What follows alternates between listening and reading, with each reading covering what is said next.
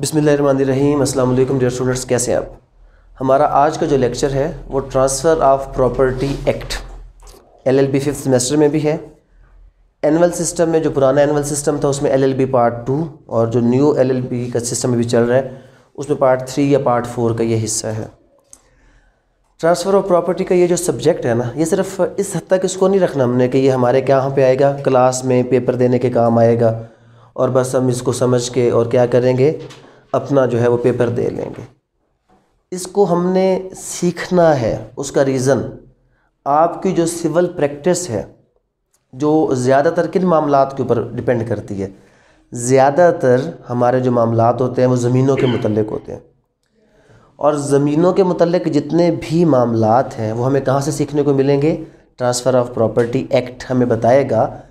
अक्सर आप लोग मुझसे पूछ रहे होते हैं, सर, ये फ़लाँ बंदा क्या करेगा? तहसीलदार का क्या करें? अभी ये कैसे, क्या ये मुकदमा कर सकते हैं या नहीं कर सकते? तो किस बात पे मुकदमा बनता है और किस बात पे मुकदमा नहीं बनता? ये सारी बातें हमें कहाँ से पता चलेंगी? हमारे आज के इस जो सब्जेक्ट हमने जो पढ़ना है ट्रांसफ़र ऑफ़ प्रॉपर्टी सीक्वेंस में चलेंगे सेक्शन वाइज चलेंगे और हर हर चीज़, कुछ बेसिक कंसेप्ट वो हैं जो तमाम लॉज में सेम होते हैं। क्योंकि आज हमारा फ़र्स्ट टाइम है तो मैं आपको आज वो कंसेप्ट बताऊँगा। लेकिन आज के बाद आपने वो चीज़ें ख़ुद ब खुद समझ लेनी है कि वो क्या थी, क्योंकि हर लाभ में ये चीज़ें फिर क्या होनी है, वापस रिपीट होती रहेंगी सेम चीज़ें होंगी। तो आज के लेक्चर क्योंकि हमने बहुत सी ऐसी बेसिक चीज़ें, जो ना सिर्फ़ ट्रांसफ़र ऑफ़ प्रॉपर्टी एक्ट के मतलब हैं, बल्कि जनरली लॉज को पढ़ने के मतलब हैं। लॉ पढ़ने के लिए कुछ लफ्ज़ हैं। जब तक हम वो लफ्ज़ स्पेशली आपको जब टाइम मिले ना एक ला लेटन मैगज़िम के नाम का एक लेक्चर मौजूद है। तो आप जब उसको पढ़ेंगे, ला लेटन मैगज़िम्स को तो वहाँ पर आपको बहुत से लफ्ज़ मिलेंगे और वो लफ्ज़ आपको हर कानून के अंदर मिलेंगे। अगर आपको वो लफ्ज़ आते होंगे, जैसे अभी आज मैं आपको स्टेचूटरी वर्डिंग्स पढ़ के जब बताऊँगा तो उसमें कुछ ख़ास ख़ास लफ्ज़ होंगे और उन ख़ास लफ्ज़ों का जब तक स्टेचूटरी मीनिंग मैंने लफ्ज़ क्या यूज़ किया है? स्टेचूटरी मीनिंग एक होता है सिंपल मीनिंग जिसको हम लिटरल मीनिंग कहते हैं। वो और होता है और स्टेचूटरी मीनिंग कुछ और होता है। जैसे सिंपल अगर मैं आपको समझाने के लिए बताऊँ, लफ्ज़ ही है ना? ही का मतलब क्या होता है? वो लड़का। लेकिन स्टेचूटरी मीनिंग या लीगल मीनिंग ही का क्या है? वो लड़का, वो लड़की, वो सब, वो कंपनी कितने मानी निकले? किसके मानी निकले? ही के। वजह क्या है कि हमारा जो लिटरल जो मीनिंग होता है वो और होता है और लीगल मीनिंग कुछ आप लॉज को पढ़ते हैं ना, कहीं पर आपने पढ़ोगे notwithstanding anything save as otherwise provided जब तक ये सेव एज अदरवाइज़ प्रोवाइडेड का पता नहीं चलेगा notwithstanding anything इसका पता नहीं चलेगा, हम उस सेक्शन की वर्डिंग को समझ ही नहीं सकते। तो हमने ये जो अभी स्टेप शुरू किया ना, ये समझने के लिए किया। पेपर को छोड़ दो, पेपर हो जाएगा पास। हमने ये चीज़ें समझनी है, इसलिए कि ये सब्जेक्ट फ्यूचर में सबसे ज़्यादा जिसने सिविल प्रैक्टिस करनी है, टोटल इसी के ऊपर बेस करेगा।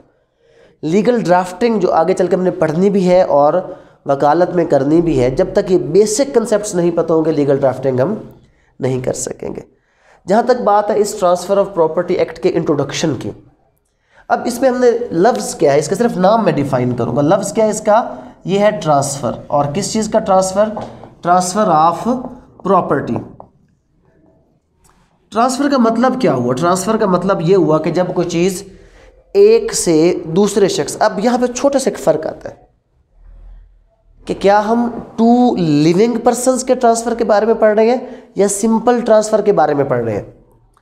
अब transfer in between two living persons और चीज़ है। और सिंपल अब यहाँ पर तो ये चीज़ कंफर्म नहीं है ना कि ये कौन सा ट्रांसफ़र है। हमने पढ़ा ट्रांसफ़र ऑफ़ प्रॉपर्टी और प्रॉपर्टी भी कौन सी है, हमें नहीं पता चला। अब जब बात करते हैं, पहले प्रॉपर्टी का लफ्ज़ ही क्लियर कर लेते हैं। प्रॉपर्टी क्या होती है? हमने आज तक यही सुना है, सोचा है, जो हमारे जहन में ख्याल आता है कि ये प्रॉपर्टी ज़मीन, जायदाद, ये हमारी क्या है? प्रॉपर्टी है। बट प्रॉपर्टी की जो वाइडर डेफिनेशन है एनीथिंग ये कुछ भी हो सकती है। Anything which is capable of being transferred from one person to another person. Anything क्या हो कि जनाब? कोई भी ऐसी चीज़, कोई भी ऐसी चीज़ which can be transferred from one person to another person तो वो प्रॉपर्टी तो हम भी तो ये पढ़ रहे हैं ट्रांसफ़र ऑफ़ प्रॉपर्टी तो मतलब हम किसी भी चीज़ के ट्रांसफ़र के बारे में इस कानून में पढ़ेंगे, लेकिन फिर कुछ चीज़ें क्या होती जाएँगी, भी कन्फाइन होती जाएँगी। अब जो प्रॉपर्टी का मतलब है प्रॉपर्टी का मतलब क्या है? प्रॉपर्टी हमारी दो किस्म की होती है। एक होती है टेंजिबल और एक होती है इनटेंजिबल हमारी जो प्रॉपर्टी होती है वो दो किस्म की है। टेंजिबल और इनटेंजिबल टेंजिबल जैसे हम वो साइंस में पढ़ते थे ना मैटर के बारे में, कि कोई भी ऐसी चीज़ जो हुजम रखती है, वज़न रखती है तो जनाब वो मादा कहलाती है। तो वो जो हमने वो मादा की डेफिनेशन पढ़ी थी ना तो यहाँ पर टेंजिबल प्रॉपर्टी क्या है? दैट कैन बी टच्ड जिसको हम टच कर सकें।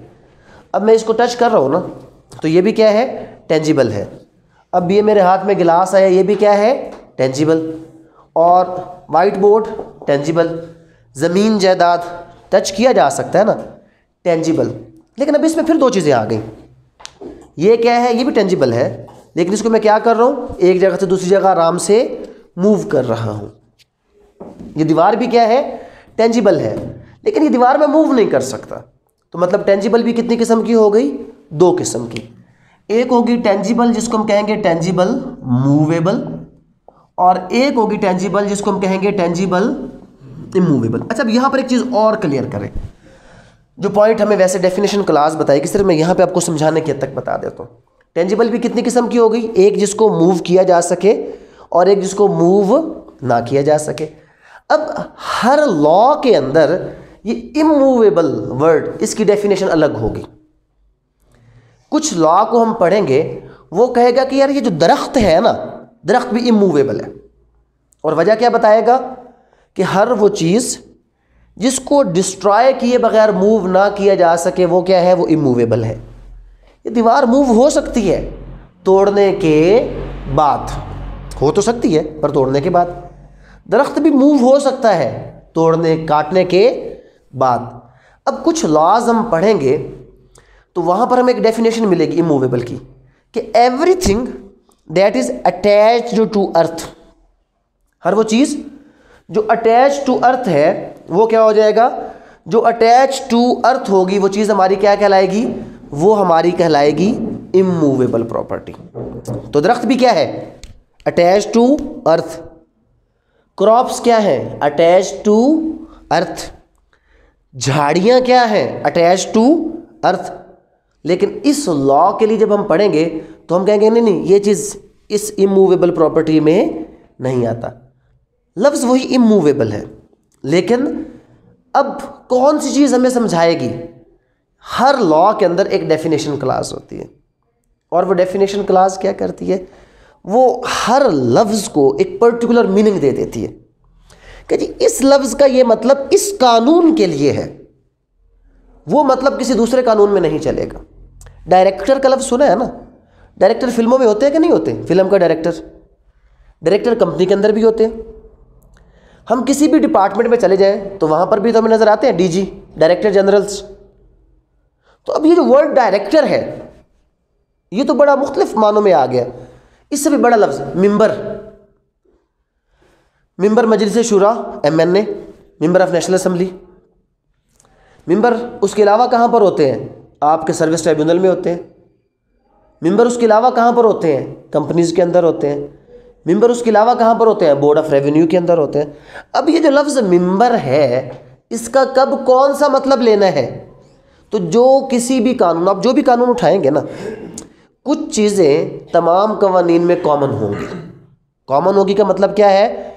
कि अब मैंने आपको क्या बताया? प्रियम्बल तो जितने भी कानून हैं, वो स्टार्ट कहाँ से होते हैं? प्रियम्बल से. बुनियाद हमें ये बताता है कि इस कानून के अंदर ये चीज़ है। तो बेसिक प्रिंसिपल किसी भी लॉ का क्या बताता है हमें? प्रियम्बल और उसके बाद जो असल चीज़, ये क्या लिखा है मैंने? इंटरप्रिटेशन क्लास हर हर लॉ की बुक जब भी आप ज़िंदगी में खोल लेंगे सेक्शन वन क्या होगा हमेशा? शॉर्ट टाइटल और एक्सटेंट होगा। एक्सटेंट इसका दायरा कार, कि किस मुल्क, उसके किस सूबे, उसके किस हिस्से में अप्लाई होते हैं।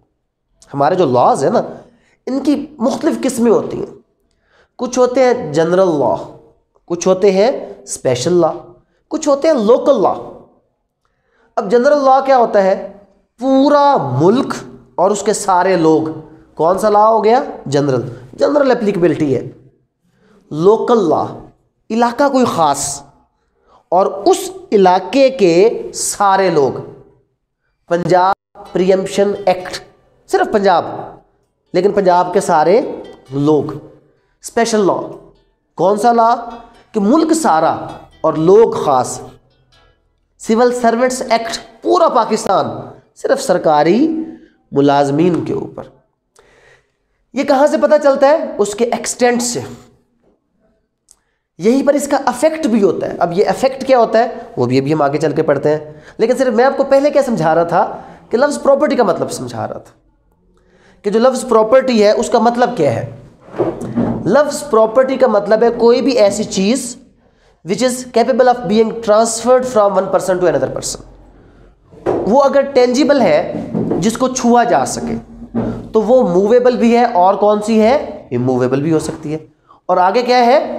इंटेंजिबल इंटेंजिबल क्या होती है? ऐसी प्रॉपर्टी जो सर्टन राइट्स की सूरत में होती है which can not be touched जिसको टच नहीं कर सके। जिसका कोई फ़िज़िकल वजूद तो नहीं होता बट वो राइट्स की सूरत में एग्जिस्ट कर रही होती है। कैसे राइट्स की सूरत में एग्जिस्ट कर रही होती है भाई?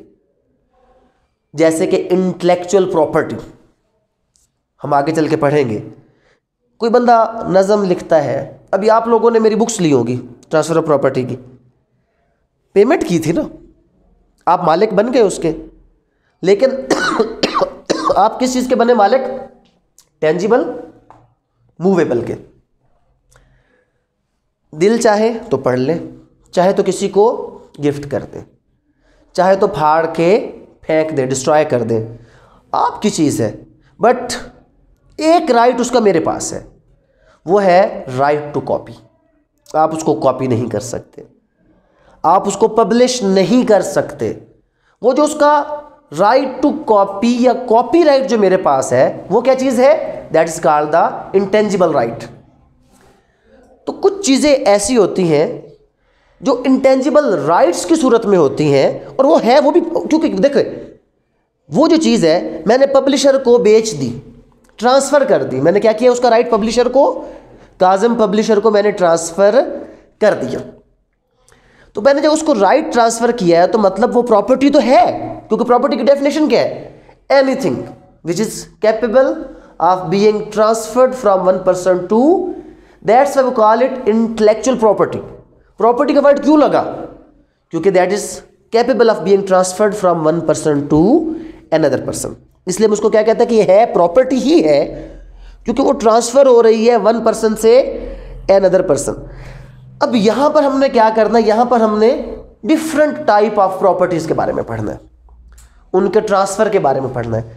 सर्टन इंटरेस्ट जो इंटेंजिबल इंटरेस्ट होंगे, उनके ट्रांसफर्स के बारे में पढ़ना कि ये जो एक्शनेबल क्लेम्स हैं, ये कैसे ट्रांसफ़र होंगे from one person to another person फिर उसके बाद कि ये कौन सी अब बात आ गई कौन सी प्रॉपर्टी अब ये जो लफ्ज़ ट्रांसफ़र है, अभी तक ये क्लियर नहीं हुआ। प्रॉपर्टी का तो थोड़ा सा पता चल गया ना। अब हमने प्रॉपर्टी का क्या क्लियर करना है? ट्रांसफ़र का लफ्ज़। अभी ट्रांसफ़र एक होता है लिविंग पर्सनस के दरमियान। जब दो लोग, एक शख्स party one party two depending upon the circumstances seller buyer mortgagor mortgagee lessor lessee donor donee कुछ भी हो सकते हैं। एक शख्स दूसरे शख्स को क्या कर रहा है? प्रॉपर्टी ट्रांसफ़र कर रहा है। लेकिन अब ये लॉ किसके मुतलक है? ये हमें कौन बताएगा इसका?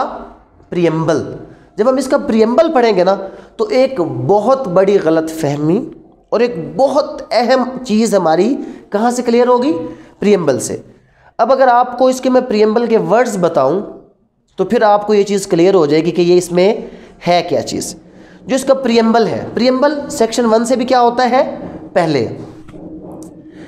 प्रियम्बल ये कहता है वेयर एस हर प्रियम्बल में यही होगा whereas it is expedient to define and amend इस कानून का मकसद क्या है? डिफाइन करना और तब्दील करना। किसको?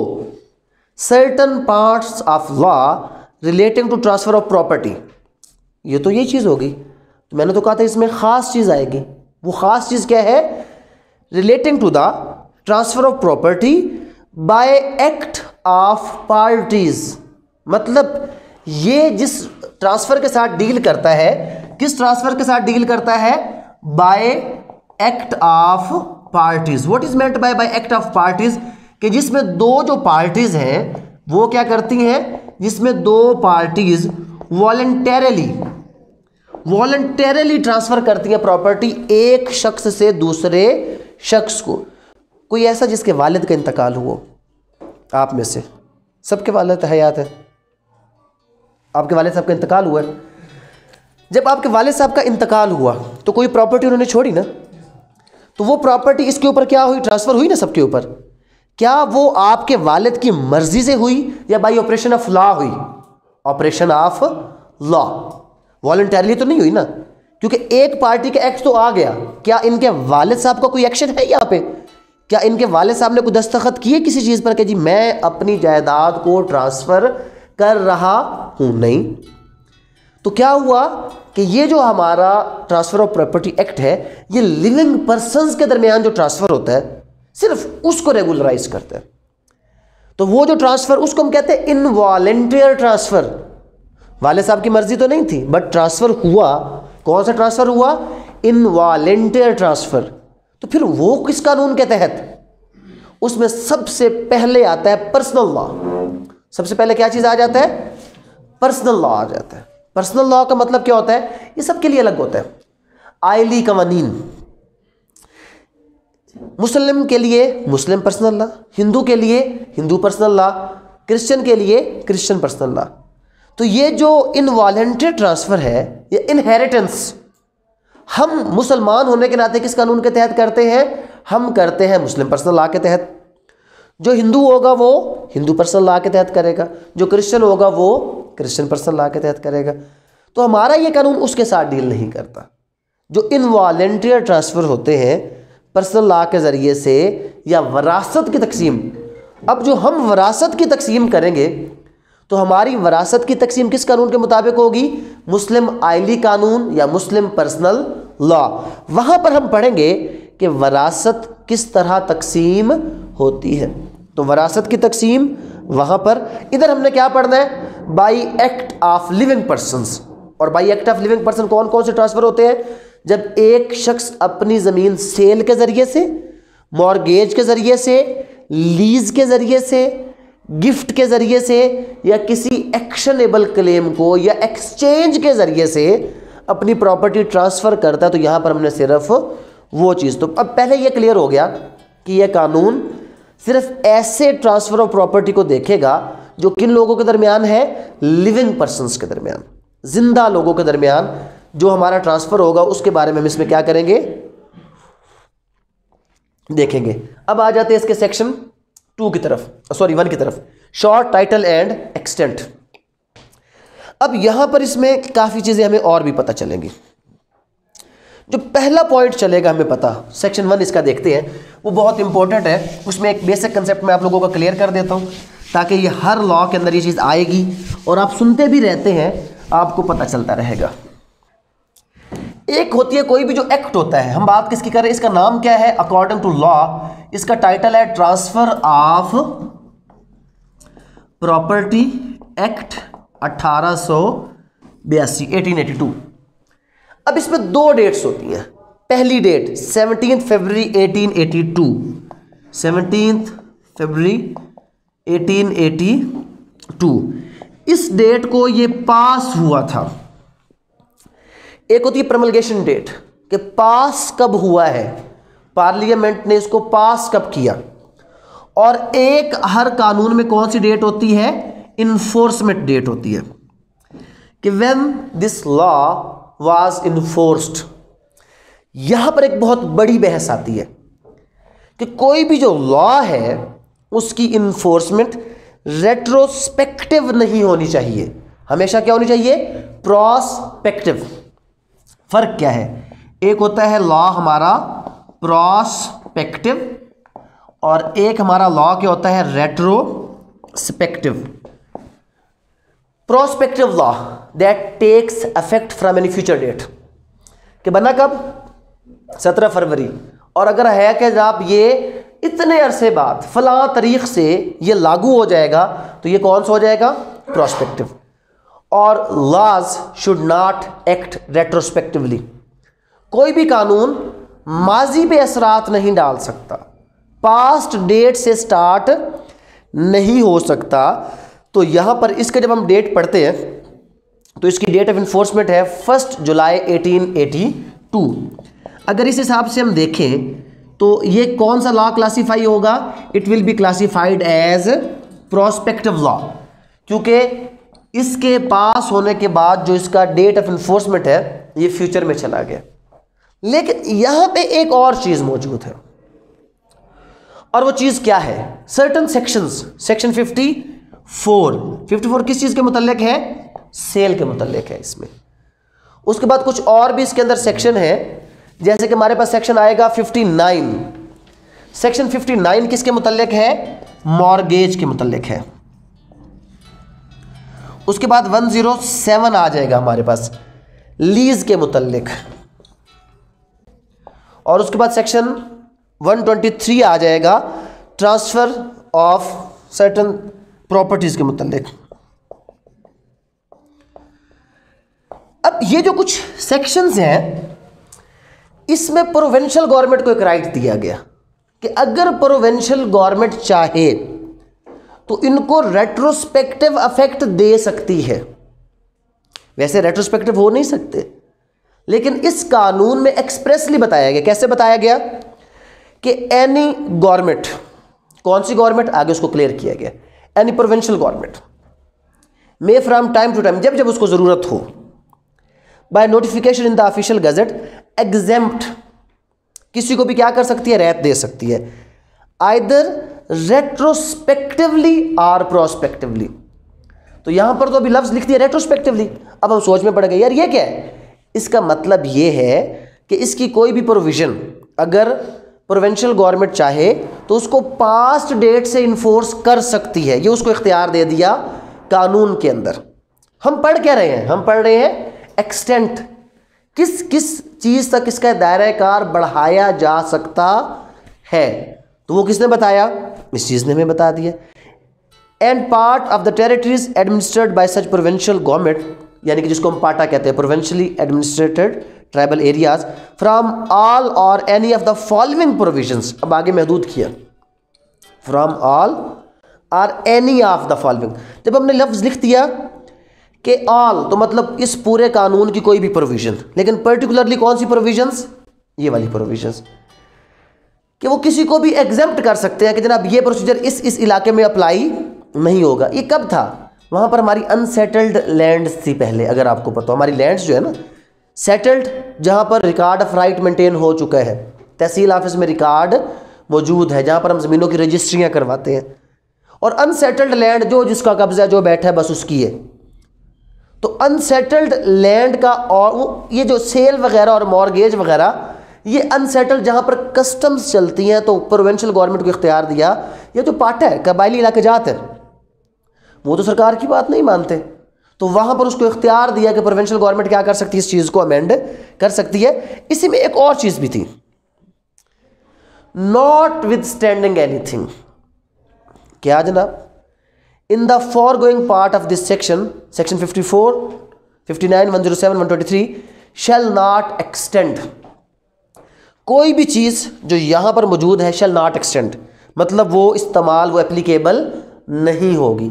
कहाँ पर नहीं होगी? Are to be extended to any district of tract of country for the time being excluded from operation of registration act जहाँ जहाँ पे रजिस्ट्रेशन एक्ट होगा, वहाँ वहाँ पे ये सारा कुछ अप्लाई होगा। रजिस्ट्रेशन का तरीक़ाकार। और जहाँ जहाँ पे रजिस्ट्रेशन एक्ट नहीं होगा, वहाँ वहाँ पर ये चीज़ें अप्लाई नहीं होंगी। ये हमारा क्या आ गया सेक्शन वन आ गया। अब सेक्शन टू अगेन इंपॉर्टेंट वो क्या बता रहा है? वो बता रहा है रिपील और सेविंग अब ये रिपील क्या है और सेविंग क्या है? अब रिपील और सेविंग में ये फ़र्क है, ये दोनों एक दूसरे के उलट है। उलट कैसे है? पहले इसका मतलब समझ लीजिए जनाब एक हमने पढ़ना किसके बारे में कि ये रिपील और ये साथ ही क्या है? सेविंग रिपील में वो चीज़ें आती हैं कि जो इस कानून के ज़रिए से ख़त्म कर दी गई। जिन चीज़ों को ये कानून रिपील कर देगा, ख़त्म कर देगा कि भाई ये ये चीज़ें ख़त्म, अब ये कानून एप्लीकेबल है। और सेविंग वो चीज़ें जो किसी और कानून में है, और ये कानून उसको प्रोटेक्ट करे कि भाई वो चलती रहेंगी। तो वो किसमें आ जाए? हम पढ़ते हैं ना कि सेव लफ्ज इंग्लिश का ही है, गौर से सुनो। सेव एज अदरवाइज़ प्रोवाइडेड अगर कहीं पर कोई और चीज़ मौजूद है तो वो। अगर वो नहीं है तो ये ये सेविंग क्लास होती है। क्योंकि इससे पहले मैंने आपको थोड़ी देर एक चीज़ बताई है कि जो इनवॉलेंटियर ट्रांसफ़र है, वो किसके ज़रिए से होगा? वो होगा आपके पर्सनल लॉ के ज़रिए से। तो यहाँ पर क्या लिखो होगा कि भाई जो ये इनवॉलेंटियर ट्रांसफ़र है सेव एज अदरवाइज़ प्रोवाइडेड उस पर वो लगेगा। हाँ अगर उस पर कोई चीज़ नहीं है तो क्या लगेगा? तो ये लगेगा, ये होती है सेविंग क्लास कि जब कोई एक कानून किसी दूसरे कानून के किसी पॉइंट को स्टिल इंटेक्ट कर दे, कि वो तो अप्लाई होगा ही होगा। हाँ अगर इसके अलावा प्रोविज़न नहीं है तो ये, और जो होती है नॉट विद स्टैंडिंग कि भाई कुछ भी है, छोड़ दो, ये चीज़ उलट हो गया। नॉट विथ स्टैंडिंग के साथ भी उलट हो गया। जिस सेक्शन के साथ लिखो होगा नॉट विद स्टैंडिंग कोई भी चीज़ इसके साथ विद स्टैंड नहीं करेगी। सारी चीज़ें बैकवर्ड पे। ये कानून जो ये बात पढ़ रहे हैं, ये सबसे टॉप पर आ जाएगी। और सेव एज अदरवाइज़ प्रोवाइडेड पहले कोई और चीज़ अगर है तो वो, अगर नहीं है तो फिर ये। तो ये एक दूसरे के क्या हो गए? उलट। अब सेक्शन टू क्या कहते है? कहता है कि जनाब in the territories to which this act extends for the time being the enactments specified in the schedule hereto annexed shall be repealed shall be repealed to the extent therein mentioned, but nothing herein contained shall be deemed to affect कहता है कि इस कानून का जो schedule अभी schedule क्या होता है यार? हर कानून में हम शेड्यूल पढ़ रहे होते हैं। कभी भी किसी कानून के अंदर ना, आपको कोई लिस्ट नज़र नहीं आएगी। किसी भी कानून के अंदर। किसी भी कानून में ना तो कोई लिस्ट नज़र आएगी, ना कोई नक्शा नज़र आएगा, ना ही कोई फॉर्म नज़र आएगा। तो फिर वो कहाँ पर होते हैं? हर कानून के आखिर पे ना शेड्यूल लगे होते हैं। जो कानून की लिस्टें, फहरिस्तें, तफसीलात, नक्शे, टेबल्स, फॉर्म्स, वो वहाँ पर दिए गए होते हैं। सारे के सारे कहाँ पर दिए होते हैं? आखिर पे उस शेड्यूल के अंदर। जैसे अगर फॉर एग्ज़ाम्पल आपको समझाने के लिए सी आर पी सी है जनाब। हम कहते हैं जी, पता नहीं, एक वो कॉग्निजेबल ऑफेंस पड़ता है जिसमें पुलिस अरेस्ट कर सकती है। और एक होता है जी नॉन कॉग्निजेबल जिसमें पुलिस अरेस्ट नहीं कर सकती। एक होता है बेलेबल जिसमें ज़मानत मिल जाती है। एक होता है नॉन अवेलेबल जिसमें ज़मानत नहीं मिलती। और भाई कौन कौन से ऑफेंस है? हमें कहाँ से पता चलेगा? तो उसके पीछे शेड्यूल है। उसने पूरे पीपीसी के सारे सेक्शन लिखकर बताया कि ये बेलेबल ये नॉन बेलेबल ये कंपाउंडेबल ये नॉन कंपाउंडेबल ये कॉग्निजेबल ये नॉन कॉग्निजेबल ये मजिस्ट्रेट ट्रायल चलाएगा, ये सेशन कोर्ट ट्रायल चलाएगा। हमारा सारा मसला किसने हल कर दिया? शेड्यूल ने। यहाँ पर भी सेक्शन टू क्या कहता है कि जी इसके आखिर पर एक शेड्यूल लगा हुआ है। तो जिस जिस चीज़ का हवाला उस शेड्यूल में मौजूद है ना, वो तो रिपील है। वो सारा क्या है? रिपील ख़त्म। लेकिन अगली बात क्या कर रहे हैं? कहते हैं कि बट नथिंग लेकिन कोई भी चीज़ हेयर इन कंटेंट जो अभी आगे बताई हुई है। हेयर इन कंटेंट का मतलब है, जो भी आगे चीज़ आ रही है shall be deemed to affect तो कोई भी चीज़ जो ये अभी प्रोविज़न है, ये अफेक्ट नहीं करेगी भाई। तो अफेक्ट नहीं करेगी का मतलब क्या हो गया कि सेव एज अदरवाइज़ प्रोवाइडेड जो वो चीज़ और किसी कानून में है, वो वैसे की वैसे चलती रहेगी। ये कानून सर्टन चीज़ों को अफेक्ट नहीं करेगा। अच्छा भाई किसको अफेक्ट नहीं करेगा? कहते the provisions of any enactment not hereby expressly repealed अच्छा अब यहाँ पर एक फिर नई मुसीबत आ गई। यहाँ पर उसने कहा है कि जो चीज़ें क्या है? एक्सप्रेसली रिपील्ड है। एक होता है एक्सप्रेस और एक होता है इंप्लाइड ये कानून के तो बहुत बड़े लफ्ज हैं। हम फिर इनमें कंफ्यूज होते हैं। एक्सप्रेस या इंप्लाइड एक्सप्रेस क्या है? अयास तुम कल क्लास में नहीं बैठोगे। ठीक हो गया। अब मैंने एक्सप्रेसली किसको रोका? अयाज को। और इंप्लाइडली मैंने बाकी सबको इजाज़त दे दी। नाम नहीं लिया मैंने। लेकिन इसका मतलब क्या है? कि बाकी सब क्या है?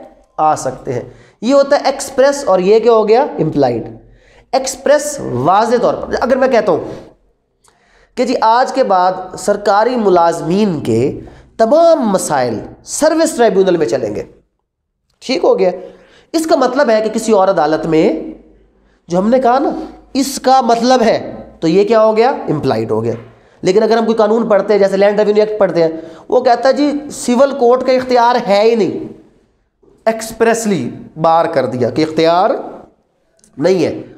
लेकिन सर्विस ट्रिब्यूनल ने क्या कहा? आज के बाद सरकारी मुलाजमीन के सारे मुकदमे यहाँ पर चलेंगे। मतलब सिविल कोर की जो क्या होगी बार यहाँ पर मतलब बार हो गई इंप्लाइडली लफ्ज तो इसने कहा कि जो चीज़ें एक्सप्रेसली बयान की गई है, सिर्फ़ वो रिपील होगी। इंप्लाइडली आपने यहाँ से कुछ भी नहीं निकालना कि इसका मतलब है ये भी हो गया, इसका मतलब ना, इसका मतलब वाला किस्सा यहाँ पर नहीं, जो एक्सप्रेसली रिपील्ड है, खाली वो, और एक्सप्रेसली रिपील्ड कहाँ से है? आखिरी शेड्यूल जो उसने बताया कि उसमें जो चीज़ें लिखी हैं, खाली वो रिपील्ड है। उसके अलावा अपनी तरफ़ से कुछ फ़र्ज़ नहीं करना। ये है कि इसमें इम्प्लाइड रिपीलिंग का कंसेप्ट उसने क्या कर दिया? ख़त्म कर दिया।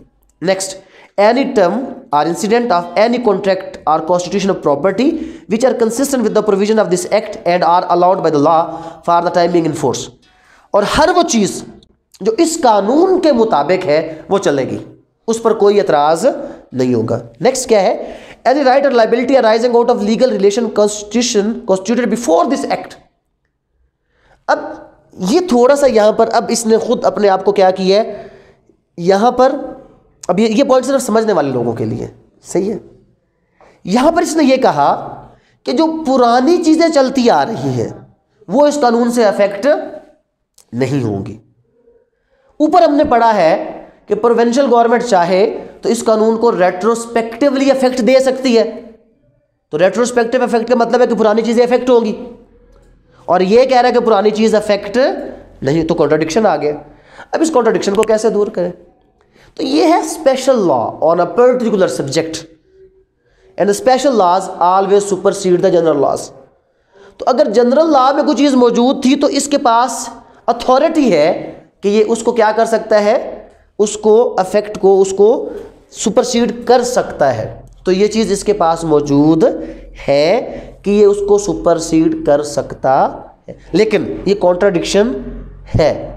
मतलब मुझे आज एक और पॉइंट मिल गया जो मैं किताब लिख रहा हूँ हमारे इस वक्त तक आलमोस्ट कोई 89 मिस्टेक्स जब से मैंने लॉ को सही तरह पढ़ना शुरू की है 89 मिस्टेक्स मैं आज तक निकाल चुका मैं एक बुक बना रहा हूँ, कि वो गलतियाँ जिनको रिपील होना चाहिए, वो कॉन्ट्राडिक्शंस अब लाजमी नहीं कि रिपील हो but certain contradictions need clarification कि यार वजाहत करो एक्सप्लेन करो कि ये क्यों ऐसा है कि ऊपर आपने कहा कि प्रोविंशियल गवर्नमेंट क्या कर सकती है? रेट्रोस्पेक्टिव अफेक्ट दे सकती है। और यहाँ पर आपने कहा कि any right or liability arising out of a legal relation constituted before this act comes into force or any relief in respect of any such right or liability इसको क्या करना है? इसको हमने ऊपर पढ़ा कि शेल नॉट बी अफेक्टेड ये कह रहा है कि पुरानी लाइबिलिटीज मतलब इसका रेट्रोस्पेक्टिव इफ़ेक्ट नहीं होगा। और ऊपर आपने कहा कि प्रोवेंशियल गवर्नमेंट इसको रेट्रोस्पेक्टिव इफ़ेक्ट दे सकती है। तो ये आ गया इसका कॉन्ट्राडिक्शन पहले नंबर पे। उसके बाद आगे चलते हैं। आगे आ गया सेव एज प्रोवाइडेड मतलब जो चीज़ बताई गई है, कहाँ पर बताई गई है? Save as provided by section 57 and chapter 6 of this act any transfer by operation of law जो ऑपरेशन ऑफ़ लॉ के ज़रिए, लेकिन फिर उसने क्या कहा? सेव एज अदरवाइज़ प्रोवाइडेड जो सेव एज प्रोवाइडेड कितना? सेक्शन 57 कहता है कि जो सेक्शन 57 है, उसको छोड़ दो। मतलब वो इस कानून के साथ शामिल है। जो चीज़ें सेक्शन 57 में है, वो तो है। जो चीज़ें सेक्शन 57 में है, वो है। उसके अलावा क्या चीज़ है? उसके अलावा any transfer by operation of law or by in execution of a decree or order of a court of computer jurisdiction and nothing in this second chapter of this act shall be deem to affect any rule of Muslim law मतलब जो हमने वरासत का कानून, जो will का कानून जो हिब्बा का कानून, अब यहाँ पर भी गिफ्ट पढ़ना है हमने। और गिफ्ट हमने कहाँ पे पढ़ना है? मुस्लिम पर्सनल लॉ में भी। उसने कहा कि भाई, जो चीज़ मुस्लिम पर्सनल लॉ में है ना, उसको ये कानून अफेक्ट नहीं कर सकता। वो ऐसे का ऐसे ही चलेगा। तो ये लॉ के जो शुरू की चीज़ें होती हैं, हम क्यों छोड़ देते हैं? थोड़ी सी खुश्क होती हैं। लेकिन जब आपको ये समझ आएँगी तो फिर आपको कानून पढ़ने का मज़ा आएगा कि हाँ यार अच्छा ये चीज़ ऐसे है। अब जब तक रेट्रोस्पेक्टिव का फ़र्क लफ्ज़ का मतलब नहीं पता प्रोस्पेक्टिव का लफ्ज़ का मतलब पता नहीं है। सेव एज अदरवाइज़ प्रोवाइडेड का मतलब पता नहीं है। या नॉट सारे लफ्ज़ आए ना notwithstanding save as otherwise provided जब तक ये बेसिक चीज़ें नहीं आएँगी, तब तक ला पढ़ने का मज़ा हमें नहीं आएगा। अब उससे आगे चलते हैं। किसकी तरफ़ चलते हैं? सेक्शन थ्री की तरफ़। अब सेक्शन थ्री क्या करेगा? अब सेक्शन थ्री ये करेगा कि कुछ लफ्ज़ों को कुछ ख़ास मतलब दे देगा। लेकिन वो लफ्ज़, उसका वो मतलब सिर्फ़ इस कानून की हद तक, बस। किसी और कानून के अंदर वो लफ्ज़, वो मतलब अप्लाई नहीं होगा। जो इंटरप्रिटेशन क्लास के मतलब होते हैं ना, वो सिर्फ़ उस कानून के लिए होते हैं। किसी लफ्ज़ को ख़ास मतलब दे दिया जाता है। अब ये किस किस कानून को मतलब दे रहा है? इमूवेबल प्रॉपर्टी अच्छा जी इमूवेबल प्रॉपर्टी जब हम बात करते हैं इमूवेबल प्रॉपर्टी की तो anything which is attach to earth एक जनरल डेफिनेशन है and which can not be moved without destruction ये एक इमूवेबल तो इसमें दरख्त भी आता है, इसमें खड़ी फ़सल भी आती है, इसमें झाड़ियाँ शाड़ियाँ भी आती हैं, लेकिन वो कहते हैं जी immovable property does not include standing timber standing timber का मतलब क्या हो गया? दरख्त वगैरह। ग्रोइंग क्रॉप्स आर ग्रास तो इस कानून के लिए वो कहता है कि भाई ये चीज़ें आपके इमूवेबल प्रॉपर्टी में शामिल। जहाँ पर हम लफ्ज़ इमूवेबल प्रॉपर्टी पढ़ेंगे, वहाँ पर ये चीज़ें वैसे होती हैं, लेकिन इस कानून के लिए चीज़ें इमूवेबल कहलाएँगे, नहीं कहलाएँगी। इंस्ट्रूमेंट इंस्ट्रूमेंट क्या है? नॉन टेस्टामेंट्री इंस्ट्रूमेंट क्या हो गया? नॉन टेस्टामेंट्री इंस्ट्रूमेंट अरे पहली बात है लफ्ज इंस्ट्रूमेंट अभी तक हमने तो ये भी नहीं क्लियर किया। ये फ्लूट बैंड बाजे, ढोल, ये भी तो इंस्ट्रूमेंट है ना? म्यूजिकल इंस्ट्रूमेंट्स है। उसके बाद आपने लफ्ज सुना होगा सर्जिकल इंस्ट्रूमेंट्स सुना हुआ है ना? तो इंस्ट्रूमेंट तो सर्जिकल भी हो सकता है। इंस्ट्रूमेंट तो कौन सा हो सकता है? इंस्ट्रूमेंट तो आपका म्यूजिकल भी हो सकता है। तो फिर क्या यहाँ पे हम सर्जिकल इंस्ट्रूमेंट की बात करें? या म्यूजिकल इंस्ट्रूमेंट की बात करें? नहीं। यहाँ पे इंस्ट्रूमेंट इज़ अ डॉक्यूमेंट वो क्या है एक? Document that conveys right from one person to another person हम सेल डीड से क्या करते हैं? राइट ट्रांसफ़र करते हैं। मॉर्गेज डीड से क्या करते हैं? राइट ट्रांसफ़र करते हैं। कोई भी ऐसा डॉक्यूमेंट जिससे rights are transferred from one person to another person is called instrument लेकिन ये कानून कहता है जी कि हमने सिर्फ़ चलना नॉन टेस्टामेंट्री किसके ऊपर? नॉन टेस्टामेंट्री एक होता है टेस्टामेंट्री इंस्ट्रूमेंट अब ये टेस्टामेंट्री क्या है? और एक होता है कौन सा? नॉन टेस्टामेंट्री वो कहता है कि यहाँ पर जो इंस्ट्रूमेंट का लफ्ज आएगा ना इंस्ट्रूमेंट का मतलब क्या होगा यहाँ पे? नॉन टेस्टामेंट्री टेस्टामेंट्री इंस्ट्रूमेंट यहाँ पर आप उसका मतलब अब ये पता नहीं कि टेस्टामेंट टेस्टामेंट ये है क्या मुसीबत? टेस्टामेंट किसको कहते हैं जनाब? टेस्टामेंट कहते हैं विल को। विल यानी के वसीयत। तो वसीयत, फिर क्या हुआ? वैसे तो एक्ट ऑफ़ लिविंग ही होता है। एक ज़िंदा शख्स अपनी ज़िंदगी में अपनी जायदाद को ट्रांसफ़र करता है। लेकिन वो कहता कि नहीं भाई, वो यहाँ पर नहीं आएगा, वो भी पर्सनल लॉ में चला जाएगा। ये उससे हट कर तो जो हमारी बाकी डीड्स मॉर्गेज से लीज हमने कहा, वो सारी किसमें आती है? वो सब की सब नॉन टेस्ट विल के इंस्ट्रूमेंट के अलावा बाकी सारे कागजात जो प्रॉपर्टी को ट्रांसफ़र करे from one person to another person वो किसमें आते हैं? नॉन टेस्टामेंट्री और हमने इसके अंदर किसके बारे में पढ़ना कि यहाँ पर जब भी लफ्ज़ आएगा ना इंस्ट्रूमेंट तो हमने फ़र्ज़ कर लेना फ़ौरन के भी इस इंस्ट्रूमेंट का मतलब ना तो सर्जिकल है, ना ही इसका मतलब म्यूज़िकल है। और ना ही इसका मतलब टेस्टामेंट्री है। सिर्फ़ नॉन टेस्टामेंट्री इंस्ट्रूमेंट्स जो है, वो इसका मतलब है कि नॉन टेस्टामेंट्री इंस्ट्रूमेंट्स कौन से हो गए? कि जो ट्रांसफ़र करेंगे राइट्स को from one person to another person attested attestation करवाते हैं डॉक्यूमेंट्स की।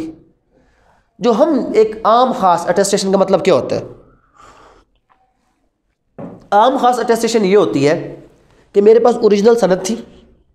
मैं ले अच्छा एक चीज़ होती है यहाँ पे वेरिफिकेशन और एक होती है अटेस्टेशन अक्सर ये भी पूछा जाता है कि वेरिफिकेशन क्या है अटेस्टेशन क्या वेरिफिकेशन जो होती है ना, वो हमेशा ओरिजिनेटिंग अथॉरिटी कर सकती है। यूनिवर्सिटी ऑफ़ बलोचिस्तान ने मुझे डिग्री दे दी। और अगर मैं वेरीफाई करवाना चाहता हूँ तो मैं यूनिवर्सिटी ऑफ़ बलोचिस्तान से ही करवाऊँगा कि वो ओरिजिनल इशुइंग अथॉरिटी उसको वेरीफाई करे कि जी बिल्कुल, ये चीज़ ठीक है। ये वेरिफिकेशन है। लेकिन जब वही डिग्री मैं लेकर जाता हूँ अयाज के वाले साहब के पास कि जी मुझे अटेस्ट कर दे, वो वेरीफाई नहीं करता। वो कॉपी को तो वेरिफिकेशन किसकी होती है? ओरिजिनल की। तो गजटेड अफसर क्या करता है? वो अटेस्ट करता है। किसको अटेस्ट करता है? कॉपी को कि यस ये ओरिजिनल मैंने देखा है और ये ओरिजिनल की ट्रू कॉपी है। ये अटेस्टेशन होती है। लेकिन ये तो वो अटेस्टेशन है जो आम ज़िंदगी में चलती है। मैंने क्या कहा है कि हमने डेफिनेशन क्लास पढ़ देंगे इसने लफ्ज़ों के मतलब को क्या करना है? चेंज तो ये अटेस्टेड का लफ्ज़। अब अटेस्टेड का मतलब क्या अगर मैं कहूँ, जी, आपके डॉक्यूमेंट अटेस्ट होने चाहिए। तो फ़ौरन आप क्या करते हैं? जाते हैं किसी गजट अफसर से क्या करवा के ले आते हैं? अटेस्ट करवा के। ऐसे ही करते हैं लेकिन यहाँ पर क्या है कि attested in relation to instrument कि जब किसी कागज़ के अटेस्ट होने की बात आएगी, अब इंस्ट्रूमेंट फिर वो ये लफ्ज़ आ गया। अब इंस्ट्रूमेंट हम पढ़ चुके हैं कि इंस्ट्रूमेंट का मतलब सेल डीड वगैरह, ये इंस्ट्रूमेंट्स हैं। कि जब इसकी अटेस्टेशन की बात आएगी तो क्या गजट अफसर करेगा? उसको कहेंगे, जनाब, इसको टेस्ट करो, वो ठप्पा लगाएगा।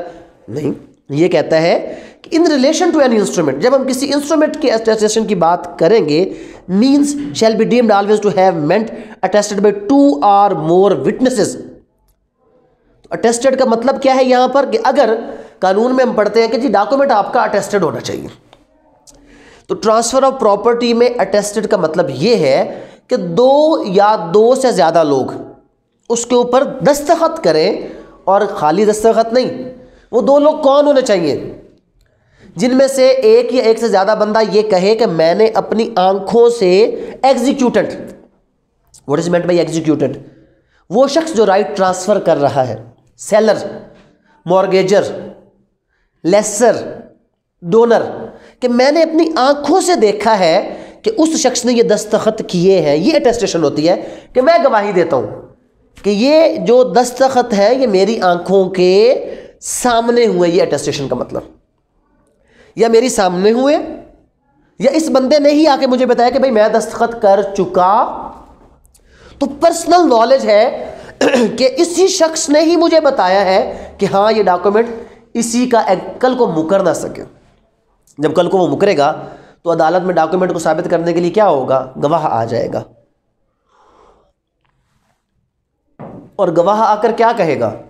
गवाह आकर यह कहेगा कि मैं गवाही देता हूँ कि ये चीज़ मेरी आँखों के सामने इसने दस्तखत किया था। ये अटेस्टेशन है। तो अटेस्टेड क्या है?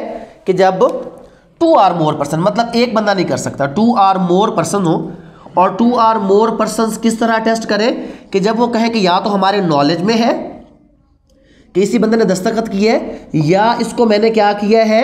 पर्सनली सीन इसको मैंने देखा है, ये दस्तखत करते और किसको देखा है? मतलब ज़रूरी किसका दस्तखत है? एग्जीक्यूटेंट का। जहन में रख ले। एग्जीक्यूटिव का दस्तखत ज़रूरी नहीं है। गवाही इस चीज़ की है कि हमने इस शख्स, क्योंकि राइट तो वो ट्रांसफ़र कर रहा है ना। अब पिछले दिनों मैंने एक घर ख़रीदा गाँव में। और मैं कहाँ पर था? कोयटा के अंदर। मैं कोयटा में था, मैंने गाँव में घर ख़रीदा और वो रजिस्टर्ड भी हुआ। प्रॉपर उसकी रजिस्ट्री हुई रजिस्ट्रार के सामने मैं मौजूद नहीं था। तो कैसे हो गई? इसलिए हुई कि वहाँ पर मौजूद होना ज़रूरी था सेलर का। और अटेस्टेशन भी क्या होती है कि हमने सेलर को दस्तखत करते हुए देखा है। बायर का मौजूद होना ज़रूरी नहीं होता। अटेस्टेड के बाद नेक्स्ट लफ्ज़ है रजिस्टर्ड अब ये रजिस्टर्ड का क्या मतलब होता है? कंपनीज़ के साथ भी तो रजिस्टर्ड का लफ्ज़ देखते हैं ना स्कूल कॉलेज इदारों के साथ भी रजिस्टर्ड का लफ्ज़ देखते हैं। तो रजिस्टर्ड का मतलब क्या मैंने एक चीज़ को जाके कंपनी में रजिस्टर करवा लिया तो हो गया? या मैंने एक चीज़ को नोटरी पब्लिक से भी तो स्टाम्प पेपर रजिस्टर करवाते हैं ना? तो क्या हो गया? और नहीं। अब ये लफ्ज़ है रजिस्टर्ड हर कानून में अलग मतलब। कंपनी में जाकर पढ़ेंगे रजिस्टर्ड तो वहाँ पर इसका मतलब होगा जो एस के साथ रजिस्टर्ड स्कूल का कानून उठाएँगे रजिस्टर्ड बीफ के साथ रजिस्टर्ड बेफ के साथ रजिस्टर्ड उसके बाद यहाँ पर रजिस्टर का क्या मतलब? कि एक शख्स जिसको प्रोवेंशियल गवर्नमेंट रजिस्ट्रार के तौर पर अपॉइंट करती है। तो रजिस्टर्ड का मतलब है कि सिर्फ़ वो डॉक्यूमेंट जो रजिस्ट्रार के पास रजिस्टर्ड है। किसके पास रजिस्टर्ड है? रजिस्ट्रार के पास, और रजिस्टर्ड नहीं। तो यहाँ पर रजिस्टर्ड का मतलब होगा जो चीज़, रजिस्ट्रार के पास, रजिस्टर्ड है फिर आगे अटैच टू अर्थ क्या लफ्ज है? Attach to earth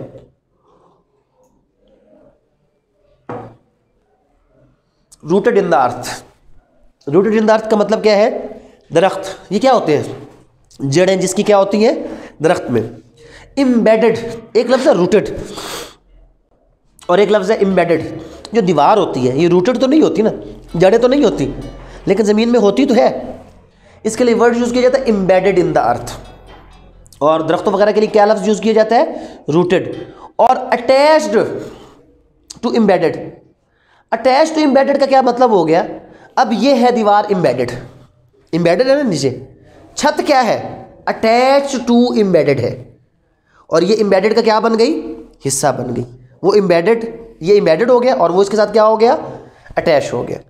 उसके बाद actionable claim what is meant by actionable claim अब ये आगे वैसे किसके ऊपर लेक्चर मौजूद है ऑलरेडी आप लोग वो सुनेंगे तो आपको थोड़ा सा क्लियर हो जाएगा एक्शनेबल क्लेम क्या होता है। कोई भी ऐसा कर्जा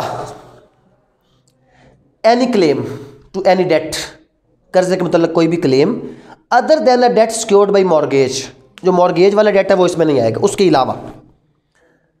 Of immovable property by hypothecation or pledge of immovable property or to any beneficial interest in movable property not in the possession either actual or constructive of the claimant which the civil courts recognize as affording ground for relief, whether such debt or beneficial interest be existent, occurring conditional contingent.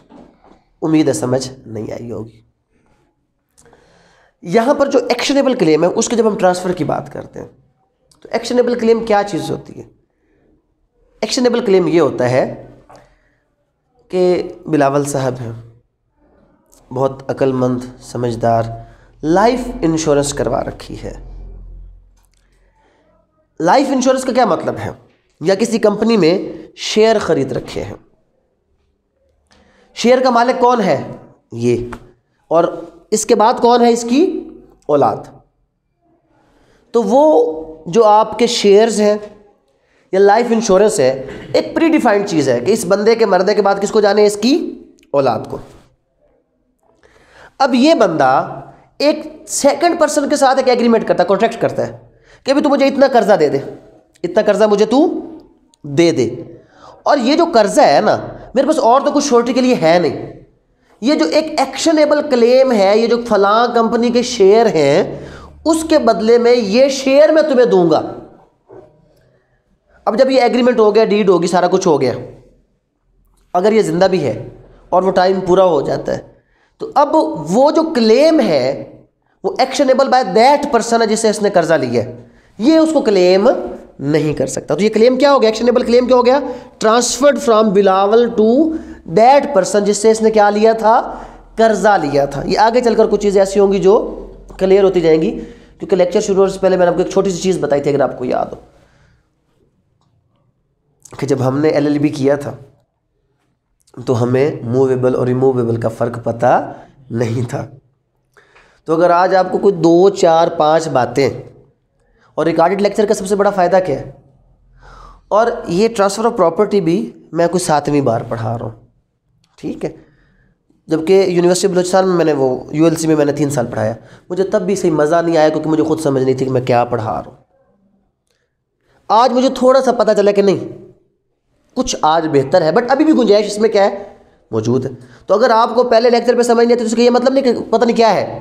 एक बार, दो बार, तीन बार, चार बार lecture साथ किताब, फिर अगले step पे commentary फिर ऐसा ऐसा चीज़ें आपको क्या होंगी, समझ आनी शुरू हो जाएँगी हाँ हाँ इसका ये मतलब है।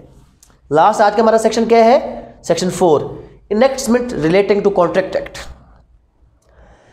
कहता the chapter and section of this act which relate to the contract इसमें कुछ चीज़ें हैं ना जो कॉन्ट्रैक्ट सेल के एग्रीमेंट के मुतल है कॉन्ट्रैक्ट्स के मुतल है।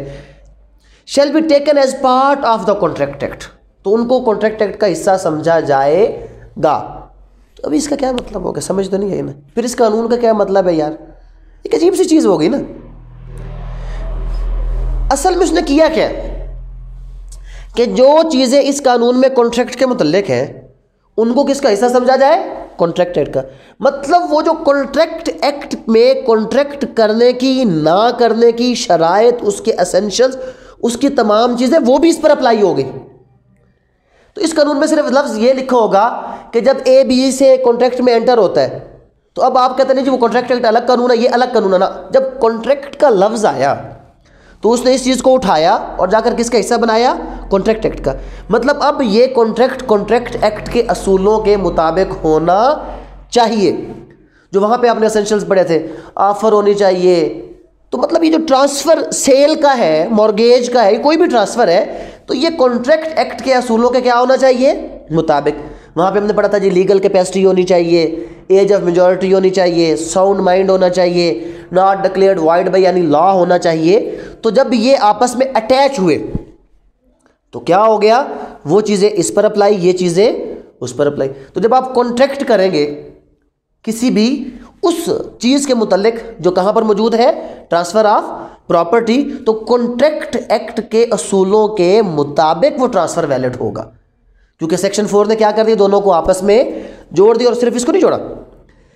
फिर वो कहता है कि and section fifty four paragraph two three section fifty nine one zero seven one twenty three shall be read as supplement to the registration act तो ये सेक्शन रजिस्ट्रेशन एक्ट के साथ मिलाकर पढ़े जाएँगे। ये उसका सप्लीमेंट है।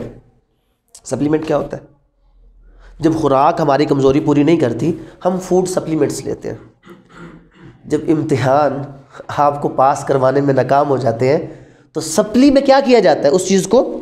सप्ली कोई भी ऐसी चीज़ जो एक ओरिजिनल चीज़ के बाद हमें एक इंसेंटिव मिलता है कि हाँ यार ये इसके ज़रिए से। तो ये भी क्या है कि ये जो सेक्शंस है आर द सप्लीमेंट गज़ा है। किसकी गज़ा है? रजिस्ट्रेशन एक्ट की। मतलब इनको उसके साथ मिलाकर पढ़ दें जहाँ जहाँ पर जिस चैप्टर में कॉन्ट्रैक्ट का ज़िक्र आएगा, उसको कॉन्ट्रैक्ट एक्ट के साथ मिलाकर पढ़ दें तो तब आप इस कानून को आगे पढ़ने के काबिल हो जाएँगे। कि ये कानून क्या है और किस तरह वर्क आउट करेगा। ये हमारा आज के चैप्टर वन था, ट्रांसफ़र ऑफ़ प्रॉपर्टी एक्ट के मतलब अब इसको बिल्कुल, अब वो बातें बता रहा हूँ कि जो हर बंदे को आज के इस लेक्चर से ज़रूर समझ आनी चाहिए। अगर इसके अलावा समझ नहीं आया तो टेंशन लेने की ज़रूरत नहीं उसको छोड़ दो, वो आपके काम की चीज़ नहीं है। जो अभी मैं बातें रिपीट कर रहा हूँ ना, इस लेवल पे आपको ये समझ आना चाहिए इशू क्या होता है? क्योंकि अभी ये जो लेक्चर रिकॉर्ड हो रहे हैं एडिशनल सेशन जज तक हर लेवल के लिए रिकॉर्ड हो रहे हैं। केस लाज भी इसके अंदर आएँगे। तो कुछ चीज़ें ऐसी होंगी जो पर्टिकुलरली आपको उस वक्त काम आएँगी जब आप 10 साल की प्रैक्टिस कर चुके होंगे और एडिशनल बनने के काबिल होंगे तो तब जाकर आपको उस वक्त समझ आएगा हाँ हाँ हाँ हाँ। और कुछ चीज़ें उससे भी ऊपर जब आप किसी जज की सीट पर बैठे होंगे तो आपको तब जाकर समझ आएगा, जब आप, क्योंकि दो चीज़ों को देखने के दो रुख होते हैं ना। एक रुख ये होता है कि मैं पहाड़ की तरफ़ ये देख रहा हूँ। अब पहाड़ के ऊपर जाने के लिए जो रास्ते हैं दरमियान में मुझे समझ नहीं आएगा कि क्या रुकावटें हैं और क्या मुश्किल हैं। और एक ये होता है कि मैं पहाड़ के ऊपर बैठ कर देख रहा हूँ।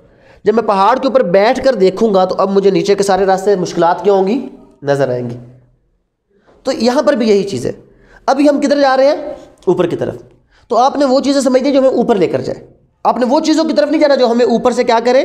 अभी हम उस लेवल पर पहुँचे नहीं तो वो चीज़ें जो पहला स्टेप जो आज के लेक्चर का। पहली चीज़। और वो क्या है? जो अब जिस जैसे हमने दरमियान में डिस्कस किया कि जो दो सेक्शन में क्या आया कॉन्ट्रोडिक्शन आया। आपको ज़रूरत नहीं है कॉन्ट्रोडिक्शन की। ये किस लेवल पर आएगा? ये जाकर जब आप हाई कोर्ट लेवल पर जाएँगे, वहाँ पर जाकर होगा कि जनाब ये कॉन्ट्रोडिक्शन क्यों है? L L M P H D और जस्टिस लेवल इधर नहीं। यहाँ पर क्या है? पहली चीज़। कि जनाब, जो प्रॉपर्टी का ट्रांसफ़र है, एक होता है वॉल्टियर और एक होता है इनवॉल्टियर जो पहला पॉइंट आपको आना चाहिए वो ये है कि ये ट्रांसफ़र ऑफ़ प्रॉपर्टी एक्ट सिर्फ़ in voluntary sorry voluntary transfer के साथ डील करता है। मतलब जो by act of living person हो। जो आपका वरासत का तकसीम, वसीयत वगैरह, जो मुस्लिम पर्सनल लॉ में चीज़ें आती हैं, उनको ये कवर नहीं करता। क्योंकि हमने पहले पढ़ा है कि by act of parties not by operation of law हमारा transfer of property by operation of law भी होता है। जब कोई शख्स मरता है तो ऑपरेशन ऑफ़ लॉ में प्रॉपर्टी क्या हो जाती है? ट्रांसफ़र ये उसके साथ डील नहीं करता। By act of living person कि जब कोई लिविंग पर्सन अपनी प्रॉपर्टी को ट्रांसफ़र करेगा तो वो इस असूल के मुताबिक करेगा। और इस कानून में प्रोवेंशल गवर्नमेंट को इख्तियार दिया गया कि वो अपने सूबे के जिस जिस हिस्से में इसको एप्लीकेबल करना चाहे कर ले। और जिस जिस हिस्से को एग्जाम्प्ट करना चाहे, इससे क्या करे? एग्जाम्प्ट कर दे। ये किसका इख्तियार आ गया? प्रोवेंशल गवर्नमेंट का। जहाँ जहाँ पर इसके सेक्शंस रजिस्ट्रेशन एक्ट के साथ मिलने हैं तो वो रजिस्ट्रेशन एक्ट के साथ रेड विद किए जाएँगे तो दोनों को मिलाकर पढ़ा जाएगा, ताकि दोनों को अफेक्ट दिया जा सके। और जो जो इसकी प्रोविजंस कॉन्ट्रैक्ट के साथ रिलेटेड हैं, उनको कॉन्ट्रैक्ट एक्ट के साथ मिलाकर पढ़ा जाएगा, ताकि उनको वाजे करने में क्या हो हमारे पास? आसानी। और सबसे बड़ी बात, ये एक प्रोस्पेक्टिव लॉ है। What is meant by prospective law एक ऐसा लॉ जो पास पहले हो और अफेक्ट एनी फ्यूचर डेट से ले। तो ये भी पास क्या हुआ? पहले। और इसका जो इफ़ेक्ट है वो भी क्या था? फ्यूचर फ़र्स्ट जुलाई को था। सत्रह फरवरी को पास होता है और फ़र्स्ट जुलाई को जाके क्या करता है? ये इफ़ेक्ट लेता है। तो ये एक प्रोस्पेक्टिव लॉ था और डेफिनेशन क्लास में हमने जो मेन चीज़ पढ़ी, यहाँ पे अटेस्टेड का मतलब पढ़ा। और अटेस्टेड का मतलब क्या पढ़ा? कि कोई भी ऐसा डॉक्यूमेंट जो दो लोग, जिन्होंने अपनी आँखों से एग्जीक्यूटेड को वो चीज़ लिखते हुए देखा हो जब दो लोग या कोई भी एक बंदा जो कहे, जी हाँ जी, बिल्कुल, मुझे पता है मेरे सामने दस्तखत हुए या बिल्कुल जी, इस बंदे ने आकर कहा था कि दस्तखत इसी के हैं, तभी मैंने इसकी गवाही देता हूँ कि बिल्कुल ये डॉक्यूमेंट इसी बंदे ने, और वो डॉक्यूमेंट को हम यहाँ पर क्या लफ्ज़ दे रहे हैं? इंस्ट्रूमेंट। क्या लफ्ज़ दे रहे हैं यहाँ पे? इंस्ट्रूमेंट। और यहाँ पे जो रजिस्टर्ड का मतलब जब भी इस कानून में लफ्ज़ आएगा कि जी अटेस्टेड तो अटेस्टेड पे टू परसेंट नहीं लिखो होगा। हमने फ़ौरन समझ जाना कि अटेस्टेड का मतलब है कि दो बंदे इस चीज़ की गवाही देंगे कि उनके सामने ये चीज़ हुई है, दो या दो से ज़्यादा बंदे अगर रजिस्टर्ड का लफ्ज़ लिखो होगा तो हमने फ़ौरन समझ जाना है अगर लिखा कि जनाब जो सेल है या गिफ्ट है is valid only with the registered deed तो हमने समझ आ जानी चाहिए कि इसका मतलब ये है कि वो ऐसी deed which has been registered with the registrar और रजिस्ट्रार कौन है? जो आगे चलकर रजिस्ट्रेशन एक्ट के मुताबिक हम पढ़ेंगे कि प्रोविंशियल गवर्नमेंट अपॉइंट करती है। नॉर्मली तहसीलदार को क्या किया जाता है? रजिस्ट्रार बनाया जाता है। असिस्टेंट कमिश्नर को क्या किया जाता है? रजिस्ट्रार बनाया जाता है। और वो क्या करता है? वो इस किस्म के जितने भी ट्रांसफर्स हैं, उनको वो क्या करता है? उनको वो रजिस्टर्ड करता है। ये वो चीज़ें हैं जो आज के लेक्चर में आपको समझ आनी चाहिए। बाकी इजाफी चीज़ें नहीं भी समझ आती तो अगले स्टेप अगले स्टेप अगले स्टेप इनशाला आ जाएँगे। नेक्स्ट जो होगा, हम चैप्टर टू से स्टार्ट करेंगे। सीक्वेंस में थोड़ा पढ़ेंगे, लेकिन उसको क्लियर करते जाएँगे ताकि हमारी कोई क्यूरीज वगैरह ना